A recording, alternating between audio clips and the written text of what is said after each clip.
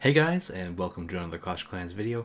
Today we're looking at a Town Hall 13 Legend League base design uh, provided by Blueprint Base Building. They are a pro base building organization full of pro base builders on their team.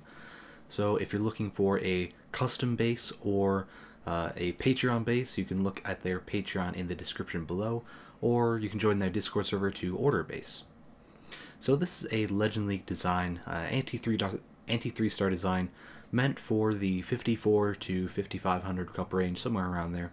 But you can use it lower and it'll still get a lot of results, even 1 stars in fact. So we're going to look at, this is the base, so we have the Town Hall 13 with uh, three single Inferno towers. We got the Town Hall in the back, or in the bottom, with all the ground expos, that's very common. One thing I'd like to note is that the Clan Castle and the Eagle are very close together, and this is possible to do a lightning spell attack on it. But the thing is, I've been attacked across five accounts, eight attacks each, in Legend League over the last couple of days, and not a single person has used a 7 zap attack on my base. So it, it's such an uncommon strategy that you can definitely use this base in Legend League despite that little flaw.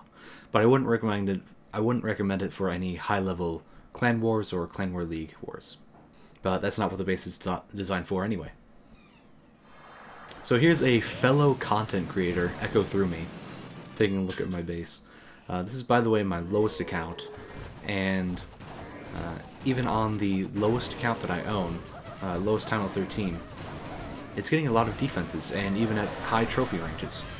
So as you saw in the battle log, in the defense log, had a lot of 5,500, 5,400, 5,300 trophy defenses uh, based on very few three stars. And the three stars that they did have were so close that there's there's no way, no possible way that a uh, that a max base would not defend that attack. But anyway, spamming in the super witches from the bottom going into the base with the, the quad quake over the town hall to activate the town hall, get a bunch of damage off. But this is about where the base stops. So we have the scatter shots and the eagle in the back. Scatter shots are protecting the eagle a little bit. And they defend the base very well from these spam attacks with a lot of troops in there, of course.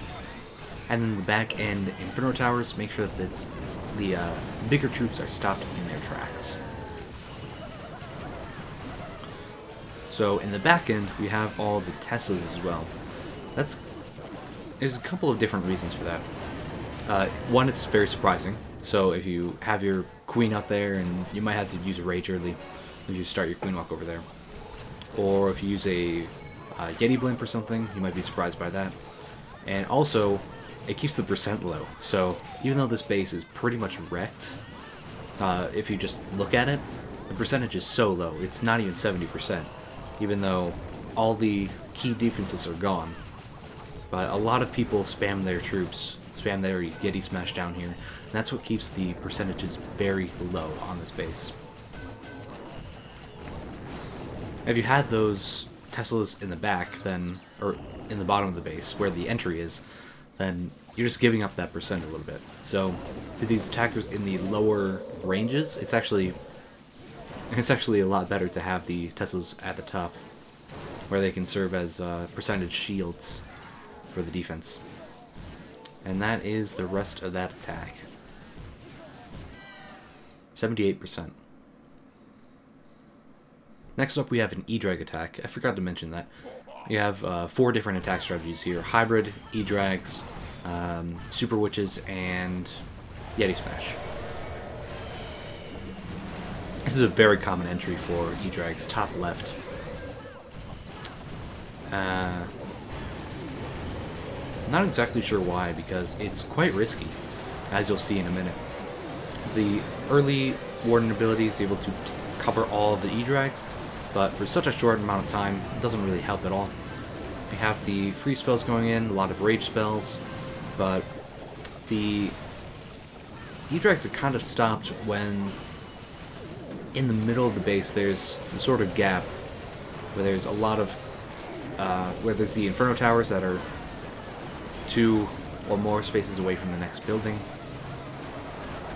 and the blimp was dropped really early, so he's not actually going to be able to get the town hall in this scenario. He kind of tries to get the um, air defense, I guess, but he's a little bit late. He could he probably could have made it if uh, if he dropped the Royal Champion a little bit earlier, but this is actually a very common reason why you get one stars on the space is E-Drags from the top left.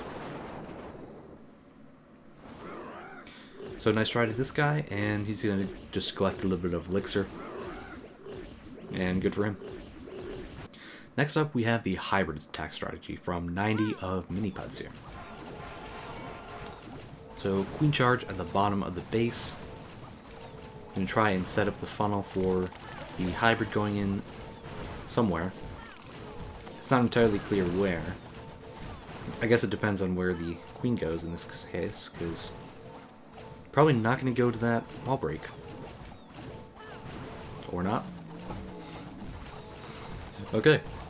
So, Coco Loon, very good, but not fast enough on the rage spell, so Coco Loon doesn't actually help protect the This doesn't help uh, grab the Seeking Air Mine or protect the healers from the air defense.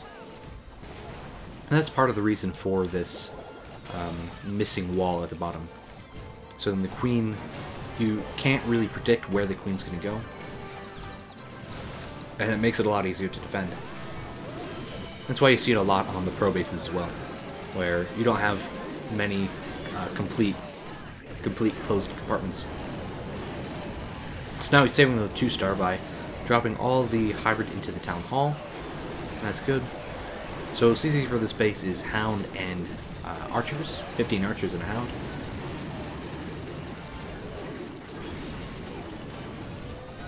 And everything just gets stopped by the the heroes, the expos, the warden, and he doesn't even have time to deploy all of his spells.